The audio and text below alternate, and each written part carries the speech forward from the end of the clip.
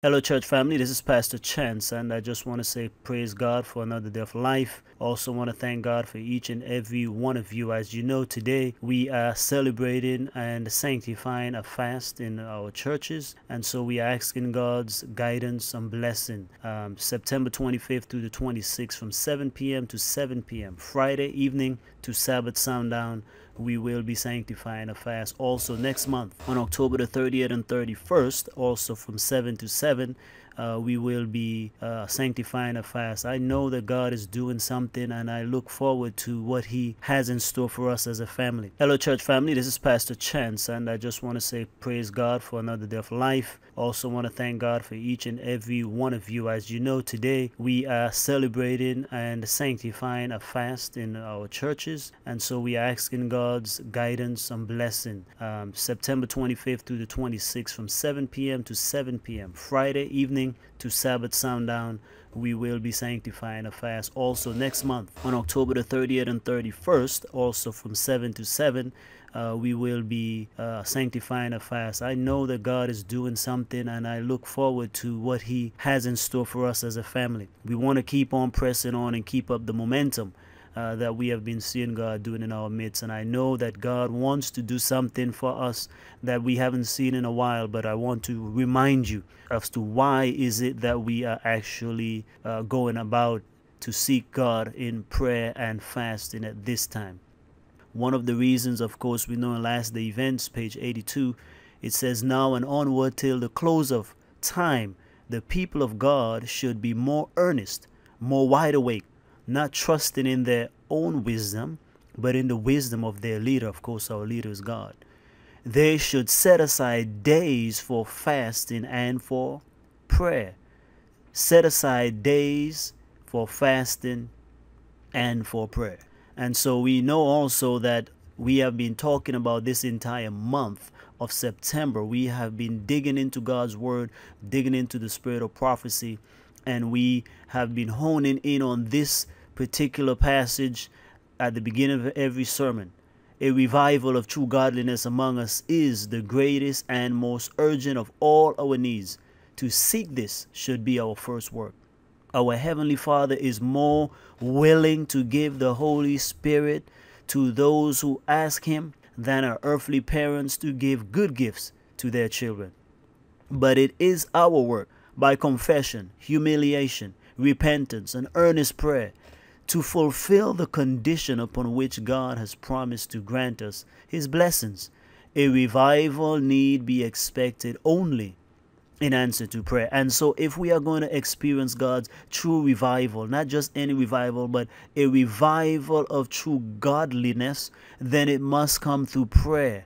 And the work that God has commissioned us to do on our part is a simple task. It does not have to take weeks, months, and years, brothers it, and sisters. We don't have to continue uh, to spend much, so much time um, in this Laodicean state and condition when God has already given us an opportunity, a privilege, and a blessing that if we just seek Him by prayer and confession and humiliation, genuine repentance, God cannot lie.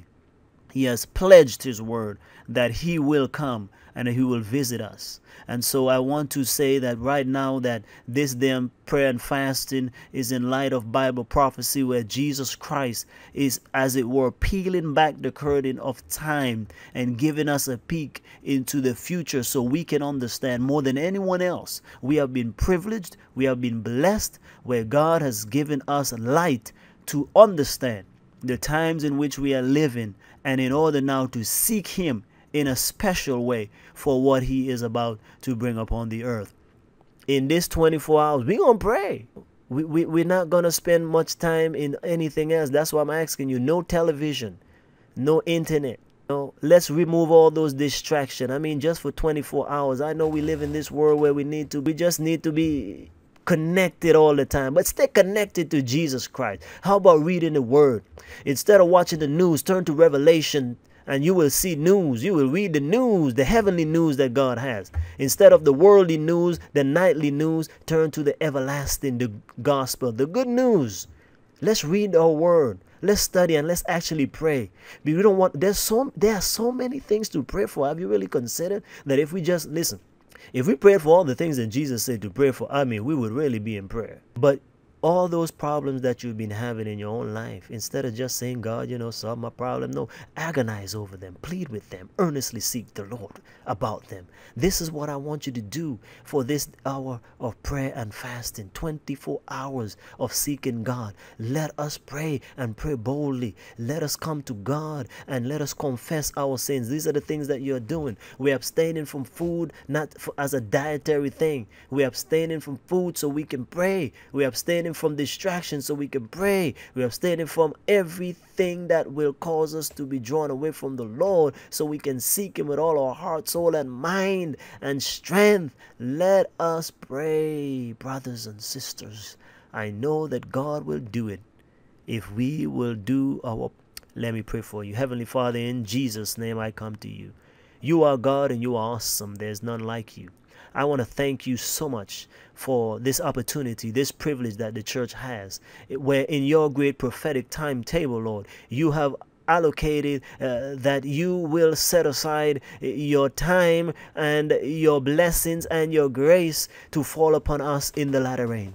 And so I'm asking you, O God, that you may remedy your people, myself included, that you may help us, O God, to do the our part, Lord. That our part is to pray, to seek your face, to confess, to repent, to humble ourselves, to seek your face as we have never sought it before, to make a decided decision that we will serve the Lord, that we will separate from the world, that we will not continue like this anymore that we will not even wait for 15 more years so we can change and to be uh, experience revival and reformation. No, Lord, if you have shown it to us, then we ought to do it. Help us, O Lord, to lay aside our pride and to get low, very low, as we seek for the outpouring of God's Holy Spirit so we can give this loud cry.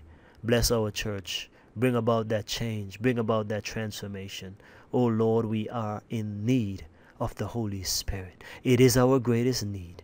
And so we know that you have pledged your words and you cannot and will not go back on it. So I'm asking you, O Lord, help us to focus on the part that we have to play. For we know that when we do our part, it is guaranteed that you will do that which you have promised.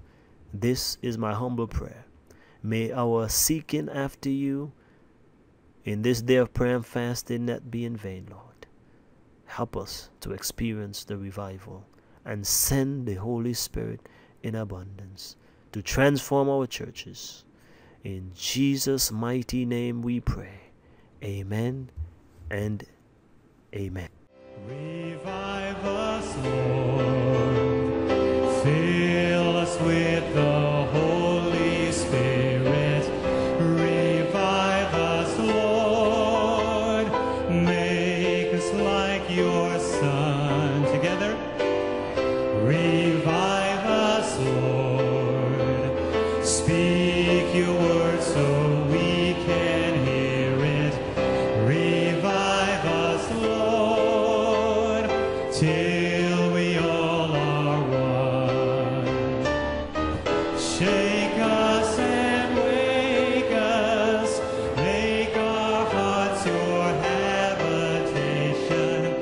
lover.